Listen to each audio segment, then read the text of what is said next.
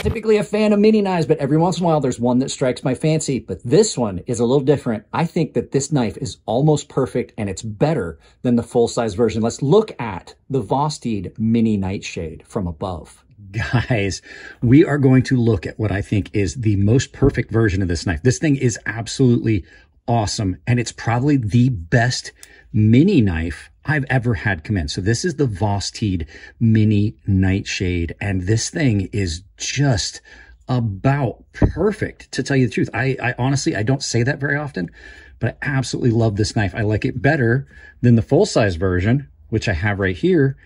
You can just see that the dimensions on it significantly smaller, but you don't lose anything. And it's just incredible. Let's get this out of the Talk way. about this. Sorry, I flipped it because I realized there was a really bad reflection off that blade. So this is a really good knife. Let's get some specs out of the way. And I, I got to tell you, there's so many good things about this knife. So we'll get some specs out of the way. We'll do some size comparison. You always saw it, already saw it compared to the full size. So you're looking at a 6.3 inch overall length with a blade length of 2.6 inches. And that sounds small, but we're going to talk about that here in a minute.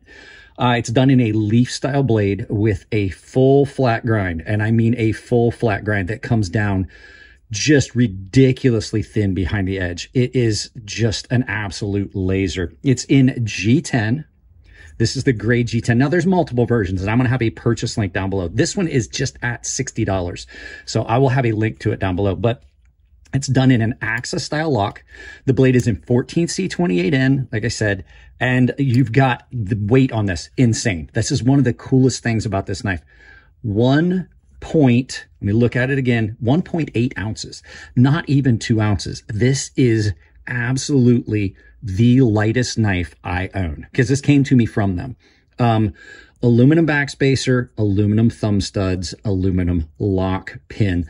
Uh, it is an AXA style lock that I got to tell you is just amazingly good. It is probably the best, the smoothest crossbar or AXA style lock I've ever had, even on much more expensive knives. Let's do a couple size comparisons here. We're going to use the three that we always do, but we'll reverse it because the reflection. First knife is your Spyderco PM2. You can see significantly smaller than the PM2. Uh, your next knife is the Benchmade 940, one of the most popular and well-known knives in the knife industry.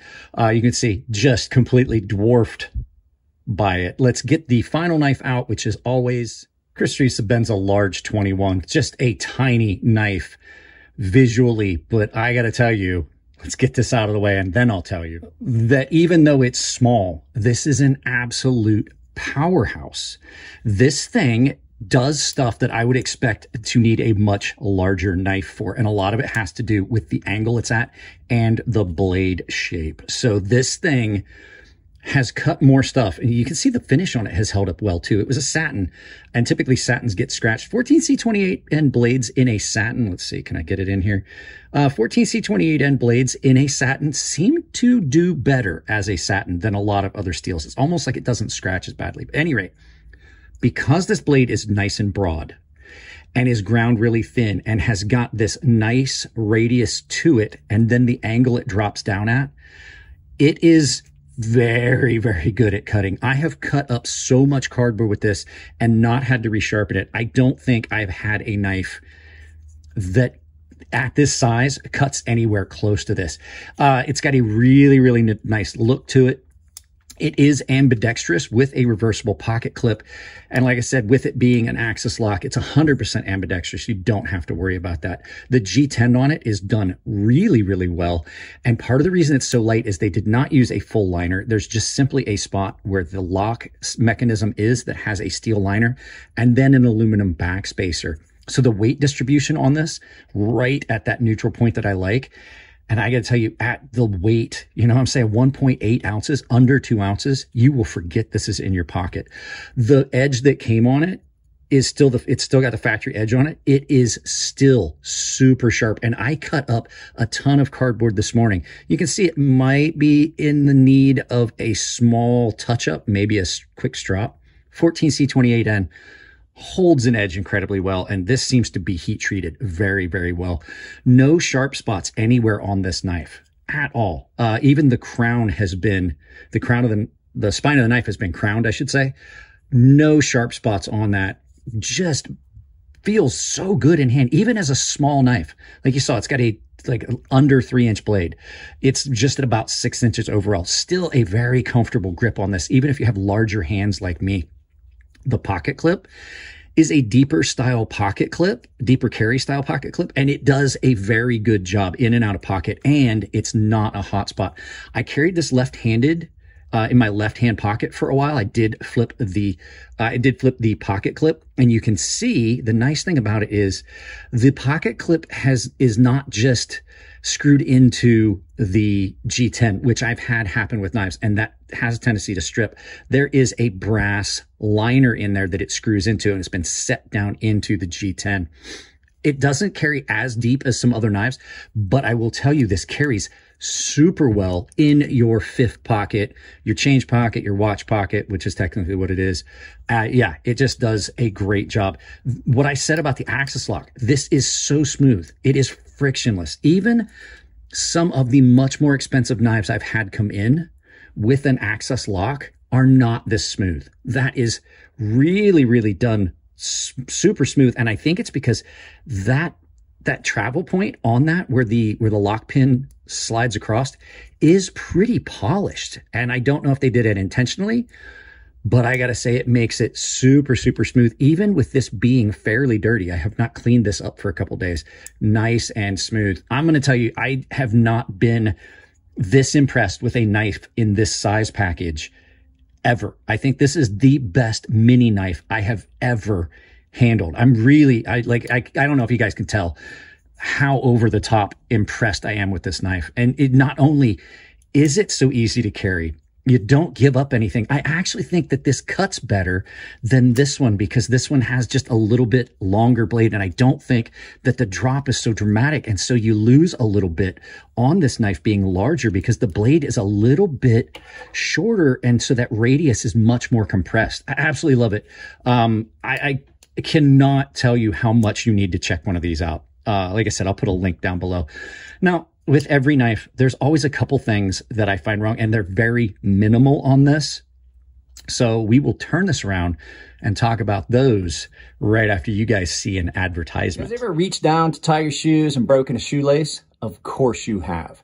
Well, imagine you're out in the middle of nowhere and you've got to have those shoes to get back. If you're hiking or if you're in the military, there's a reason I always carried and had multiple sets of replacement shoelaces. Well, Today's sponsor is Tempered Trail. They are giving you guys some of the most durable laces that you're ever going to find. 550 pounds of strength in those laces. So check them out with the link down below. It saves you 10% at checkout. They are offering a wide variety of colors and lengths. So you just pick the length, you pick the color, and you throw them in your shoes. So big shout out to Tempered Trail for sponsoring this video. Guys, let's get back to the knife. So literally only like three things on this and one of them super minor. Um, the pocket clip, I think that the pocket clip could have been moved a little bit further back because while this does carry fairly deep, you could carry it deeper. And with it being in the fifth pocket, with the way I carry it being so small, I think that that would have just ever so slightly deeper, maybe move it over closer to the screw and bring it back just a little bit. Uh, the next thing is I don't feel as though the jimping needed to be there at all. Like I would have been fine with that being smooth because the fact is, while it's not bad jimping, the material on the scales just covers it. So you really don't gain anything by it being there. And I'm not a fan of, of jimping aesthetically. So it could have just went away. And the last thing, oh, two things. I'm sorry. Pocket clip could have had something to fill those holes. Uh, if you start getting dirt and grime and stuff in there, if you're like me and sometimes you'll carry a knife left-handed, but typically, typically carry it right-handed, you want to be able to flip that without having to clean those holes out. And then this could have done with a lanyard post instead of a lanyard hole. It's an attractive little knife, uh, especially in some of the other iterations. And just to, to get rid of that pocket clip would have maintained the lines. It could have easily just had a pin stuck in here and then just milled out a little spot in here and just put a pin in it. So just a couple little things. Like I said, very attractive little knife. I really like this. And with it 1.8 ounces, I can only imagine what the carbon fiber version is like. It's just got to be almost non-existent. So just an amazing, amazing knife. It's check this one out. Vosteed really nailed it with this one. I just can't, I can't express like how impressed I am with a an under three inch blade doing the cutting that this does. So let's turn this around. We'll do some final thoughts and I'll send you guys out about your day.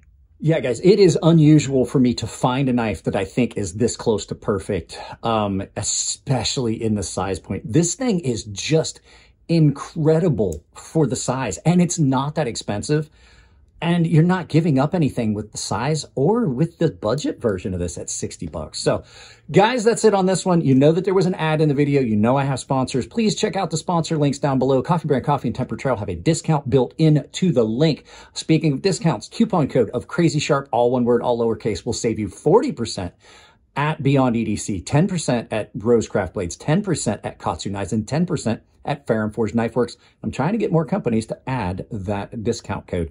Uh, I've got a bunch of affiliates down below, including an Amazon store link. You can take those links, use them for any of the knife shopping you're going to do. Take the Amazon store link, pin it to your browser, use it for all your Amazon shopping. It definitely helps out and it doesn't cost you anything at checkout. There is a link to a public Discord down below. It says join the community. You can hang out there and just drop questions in the DMs. You guys can talk to each other and there's all kinds of places you can post. I've got a membership where I do giveaways, exclusive content, uh, there's a premium sharpening tutorial series for the top tier guys in the memberships and a private Discord that's open to everyone. Guys, that's it on this one. I love you. I'll keep it clean in the comments section. If it's your birthday, happy birthday. And I'll see you in the next video.